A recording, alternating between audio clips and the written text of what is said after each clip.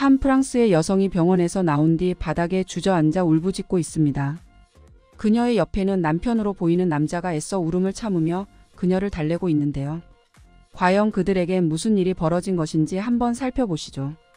해당 사연은 프랑스인 아야 씨가 제보해준 이야기와 SNS 내용을 바탕으로 재구성된 스토리입니다. 안녕하세요. 저는 프랑스에서 사는 아야라고 합니다. 저는 한국인 아버지와 프랑스인 어머니 밑에서 태어난 혼혈인인데요. 아주 어릴 적 그러니까 부모님의 사이가 좋았을 때 저는 한국에서 살았었습니다. 많지는 않았지만 한국인과는 다른 제 모습을 있는 그대로 받아들여 주어 저와 즐겁게 놀던 친구들도 있었죠. 하지만 아버지는 돈이 많은 분이 아니셨고 우리 가족이 살던 곳은 외진 시골이었는데요. 아버지만 있으면 된다고 하셨던 어머니는 점점 불만이 쌓이셨고 결국 아버지와 크게 다투셨습니다. 이런 좁고 냄새 나는 곳에서 더는 살지 못하겠다고 하시던 것이었죠. 처음에는 아버지께서 미안하다는 말로 어머니를 진정시키려 했지만 날이 갈수록 어머니의 짜증은 심해졌고 결국 지칠 대로 지치신 아버지는 어머니께 그렇게 싫으면 떠나라고 했습니다. 어머니는 그런 아버지의 말을 들으시고는 뒤도 안 돌아보고 떠나셨죠. 자식인 제가 버젓이 살아있음에도 어머니 인생에서 중요한 건 자식이 아니라 본인의 편한 삶인 듯 보였습니다. 그 이후에는 아버지께서 육아와 일 집안일까지 전부 다 감당하셔야 했는데요. 분명 엄청나게 힘드셨을 텐데 제 기억에서 아버지는 항상 저를 보며 웃어주셨습니다. 아버지의 노력 덕분에 저는 금세 어머니의 빈자리를 잊고 살아갈 수 있었는데요. 하지만 인생에서 시련은 결코 한 번만 오는 것이 아니었습니다. 어느 날 아버지는 밭일 하시다가 갑자기 시야가 흐려지시고 함께 일하던 동료들이 잘 보이지 않는다고 하셨는데요. 눈에 먼지가 들어갔다고 생각하신 아버지는 그날 일찍 집에 들어와 휴식을 취하셨죠. 하룻밤 자고 일어나면 다 나으리라 생각했던 아버지의 생각은 불행하게도 빗나가 버렸습니다. 자고 일어나도 아버지는 여전히 눈이 왜 이러지 싶은 의아함을 호소하셨죠. 저는 그런 아버지가 걱정되어 병원을 가봐야 하는 것 아니냐고 말씀드렸지만 아버지는 그냥 피곤해서 그런 것 같으시다며 영양제 하나를 드시고는 다시 일을 나가셨습니다. 그렇게 며칠이 지났지만 아버지의 눈 상태는 호전되기는커녕 점점 심해졌는데요. 아버지는 결국 꽤 먼 거리를 이동하여 안과에 가셨죠. 그곳에서 들은 이야기는 충격적이었습니다. 아버지는 점점 시력을 잃게 되는 망막색소 변성증에 걸리셨는데요. 심지어는 치료법도 없이 그저 시력을 잃는 것을 지켜볼 수밖에 없는 병이었습니다. 아버지는 큰 절망에 빠져 집으로 돌아오셨는데요. 아직 어린 제게는 애써 웃으시며 큰 병은 아니니 걱정하지 말라고 거짓말을 하셨습니다. 하지만 그 어린 나이에도 저는 아버지의 눈은 절대 정상이 아님을 직감하고 있었는데요. 점점 시력이 떨어지시는지 벽이나 문에 부딪히는 것은 일상이었고 맛있게 해주셨던 요리는 다 태우시기 일수였죠. 이후 시력을 완전히 잃어버리신 아버지는 어린 저를 앉혀두고 진지하게 말씀하셨습니다. 아빠가 눈이 보이진 않지만 우리 딸 엄마 빈자리 느끼지 않게 최선을 다할게 아빠가 미안하고 사랑해. 저는 아버지의 말을 철석같이 믿었습니다. 아니 정확히는 믿고 싶었죠. 아버지의 노력 덕에 어머니의 빈자리를 느끼지는 않았지만 그럼에도 어머니에게 버림받았다는 슬픔조차 없앨 수는 없었기에 아버지의 말을 믿고 싶었던 것입니다. 실제로 아버지는 어린 제가 보기에도 엄청나게 노력하시며 저를 키우려 노력하셨는데요. 매일 밤 딸이 엄마가 보고 싶진 않을까? 싶은 걱정에 뒤돌아 눈물을 훔치던 아버지의 모습은 지금도 생생합니다. 하지만 세상 일은 역시 사람의 마음대로 되는 것이 아니었는데요. 형체로라도 보였던 아버지의 눈은 시간이 지날수록 어두운 밤에 촛불 하나 없이 걸어 다니는 것처럼 안 좋아지셨습니다. 결국 다시는 기억하고 싶지 않은 그날이 찾아왔는데요. 그날은 아버지께서 저를 시내로 데려가 주셨습니다. 아버지는 지팡이로 앞을 보셔야 했지만 오랜만에 저와 함께 하시는 외출의 표정은 행복해 보이셨는데요. 그런데 분명 얼굴은 웃고 있는데 눈가는 슬픔이 맺혀져 있는 그런 표정이셨습니다. 어린 저로서는 아버지가 왜 저런 표정을 짓고 계신지 알지 못한 채 그저 아버지와의 외출이 즐거울 뿐이었죠. 아버지는 제가 가지고 싶었던 인형을 사주시고 평소에 노래를 부르던 김밥과 떡볶이를 원 없이 사주셨습니다. 그날은 제 생일도 아닌데 왜 이렇게 맛있는 것과 인형을 사주시는지 의아했는데요. 애석하게도 그 의문점은 한 시간 만에 풀려버렸습니다. 아버지가 사주신 인형을 꼭 껴안고 아버지가 이끄는 대로 향한 제 눈앞엔 보육원이라는 단어가 생생하게 적혀 있었죠. 아버지는 이미 저를 입양 보낼 모든 절차를 마쳐둔 상태였는데요. 저는 보육원이라는 단어를 정확히 모르고 있었기에 어리둥절하며 아버지를 쳐다볼 뿐이었죠. 이윽고 아버지는 당신을 쳐다보는 저를 최대한 웃는 얼굴로 바라보며 말씀하셨습니다. 우리 딸 딱 10번만 자고 나면 아빠가 꼭 데리러 올게. 여기서 친구들이랑 놀고 있을래? 저는 10밤만 자고 오면 데리러 온다는 아버지에게 손가락 약속을 하자 말하곤 아버지를 보냈습니다. 하지만 역시 10밤이 아니라 20밤, 100밤이 지나도 아버지는 오지 않으셨죠. 아무리 어린 나이라도 아버지가 나를 버렸다는 것을 알게 되는 것은 그리 어렵지 않은 일이었고 그것을 깨달았을 때 저는 태어나서 가장 크게 울었습니다. 그 이후 저는 어머니의 고향인 프랑스로 입양을 가게 되었는데요.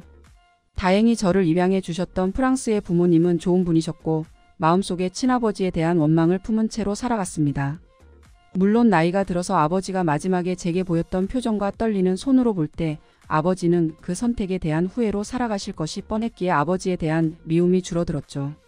하지만 아버지를 다시 볼 자신이 없던 저는 애써 아버지를 잊고 프랑스 생활에 적응하며 살아갔습니다.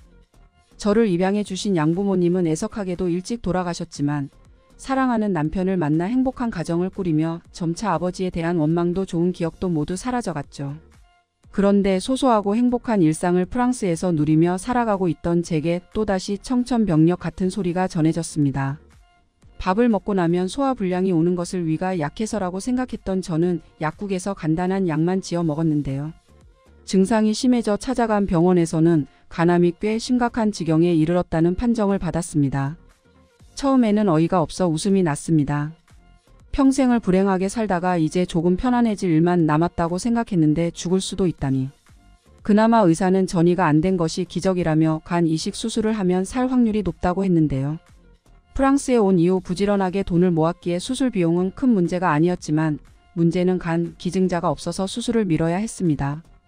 남편은 자신이 간을 기증하겠다고 했지만 남편은 어릴 적 소아 당뇨를 앓았던 적이 있어서 기증할 수 없다고 했죠.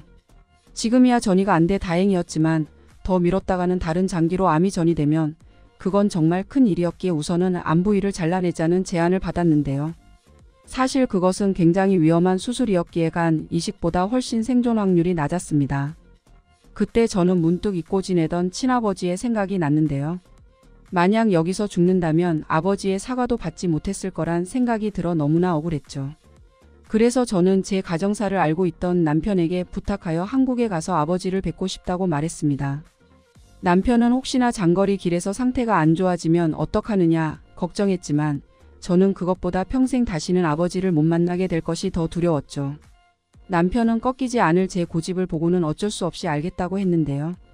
남편의 허락이 떨어지자 저는 곧바로 남편과 함께 한국으로 찾아갔습니다. 한국에 도착해서는 꿈에서조차 잊지 않았던 제 고향 마을로 향했는데요. 어린 시절의 기억, 어머니에 대한 원망, 아버지에 대한 원망이 모든 것이 한데 어우러져 복잡한 심경으로 고향으로 향했죠. 무려 20년 만에 도착한 고향은 제가 살았던 때와 별다를 것이 없었는데요. 덕분에 길을 헤매지 않고 제가 살던 집으로 갈 수 있었습니다. 하지만 오랜만에 찾은 집에는 아무도 없었는데요. 이젠 할머니가 된 옆집 아주머니에게 한국에 온 이유를 설명하고 아버지를 찾았지만 옆집 아주머니도 모른다는 말만 하실 뿐이었습니다. 사실 이 동네 말고는 아버지에 대한 단서를 찾을 길이 없었기에 저는 절망했는데요. 그런 저를 아주머니는 안쓰러운 눈으로 바라보시며 메모지 한 장을 건네주셨습니다. 당신의 아들도 간암에 걸린 적이 있는데 저와 똑같은 수술을 적어주신 메모지에 병원에서 해서 말끔히 나았다고 해주셨죠. 저는 반신반의 하는 마음으로 아주머니에게 메모지를 건네받았는데요.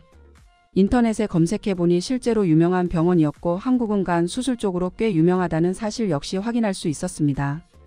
저는 남편에게 이왕 한국으로 온 거 조금이라도 더 확률이 높은 쪽에 기대보고 싶다고 말하였고 남편은 꼼꼼히 한국 간 수술이에 대해 알아보더니 이내 알겠다고 했죠.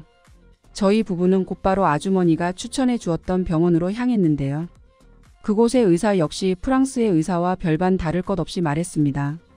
간을 이식하는 게 제일 안전하지만 기증자가 없는 상황에서 기다리다가 전이 되는 것보단 수술하는 게 낫다고 했죠. 그렇게 저와 남편은 수술 일정을 잡고 한국에 더 머물기 위하여 숙소를 잡았습니다. 그런데 수술이 얼마 남지 않은 시점에서 의사가 제게 밝은 목소리로 전화를 걸어 기증자가 나타났다고 했는데요. 저는 너무나 기쁜 나머지 남편을 끌어안고 살 수 있다고 소리쳤습니다. 그렇게 수술 날이 다가왔고 전신 마취를 한 뒤 수술에 들어갔는데요. 수술은 생각보다 쉽게 끝났습니다. 전이가 안 된 암이기도 했고 간 이식에서만큼은 세상에서 제일이라 자부하는 한국다웠죠. 그렇게 수술이 끝난 후 회복을 위해 병원에 며칠 더 머물고 있었는데요. 아버지를 찾기 위해 온 한국이었지만 뜻밖의 행운이 겹쳐 안전하게 수술이 끝난 것에 안도하고 있었죠. 그런데 휴식을 취하고 있던 제 앞에 이 병원을 추천해 주신 아주머니가 조심스럽게 제 병실에 들어왔습니다. 혹시 아버지의 행방을 듣게 되면 꼭 연락을 주라고 남겨두었던 번호로 제가 있던 병실을 물어보셔서 찾아오셨던 것이죠. 아주머니는 수술을 잘 마친 저를 보며 정말 다행이라고 했는데요. 저는 그런 아주머니께 병원을 추천해 주셔서 정말 감사하다는 말을 전했습니다. 아주머니는 제게 감사 인사를 듣고는 조금 머뭇거리는 표정을 지으시며 이걸 어떻게 해야 하나 싶은 표정을 지으셨는데요. 하지만 이내 아주머니는 무거운 입을 여시며 제게 충격적인 진실을 말해 주셨습니다. 사실간 기증해준 사람 있잖니. 그 사람 내 아버지란다. 저는 이 아주머니가 도를 넘는 장난을 치고 있다고 생각하여 순간 울컥하며 화를 냈는데요. 아주머니는 그런 제게 침착함을 유지하시며 모든 진실을 알려주셨습니다. 사실 제가 마을을 찾아갔을 때도 아버지는 그 마을에 계셨다고 했는데요. 당신을 찾는 딸을 보며 염치가 없다며 제가 찾아왔다는 마을 주민들의 이야기를 듣고 일부러 저를 피하셨던 것입니다. 그 이후 아주머니께 제가 걸린 병과 간 기증자가 필요하다는 이야기를 듣고 아주머니에게 한국에서 수술받도록 부탁을 드린 것인데요. 저는 즉시 아버지가 어디 있는지 여쭤보았는데요. 아버지는 같은 병원의 다른 병실에서 혹여 저를 마주칠까 봐 화장실도 몰래 가고 있으시다고 했죠. 저는 즉시 아버지를 찾아갔습니다. 아버지의 병실에 들어간 저는 말없이 아버지를 바라보았는데요. 어릴 적 든든하던 아버지의 모습은 온데간데 없이 늙고 메말라 있는 아버지의 모습이 제 눈에 들어와 눈물을 흘리게 했습니다. 또한 앞이 보이지 않아 갑자기 들어온 누군가를 경계하시며 공포에 잠겨 계시는 모습은 더욱 제 마음을 아프게 했죠. 저는 즉시 아버지에게 달려가 아버지를 안아드리며 아빠를 불러보았습니다. 처음에 아버지는 저를 못 알아보신 듯 발뺌하셨지만 이내 모든 것을 눈치챈 아버지는 저와 함께 눈물을 흘리셨습니다. 그 이후 저는 아버지를 프랑스에 모시고 가 아버지를 모시고 살고 있습니다. 한때는 아버지를 원망하기도 했지만 이제는 아버지가 나를 얼마나 사랑하시는지 알고 너무나 사랑해서 데려 저를 보내셨다는 것을 알기에 아버지에겐 고마운 마음밖엔 없습니다. 사연을 어떻게 들으셨나요? 저희는 감동적인 사연, 재밌는 사연을 기다리고 있으니 언제라도 보내주시길 바랍니다.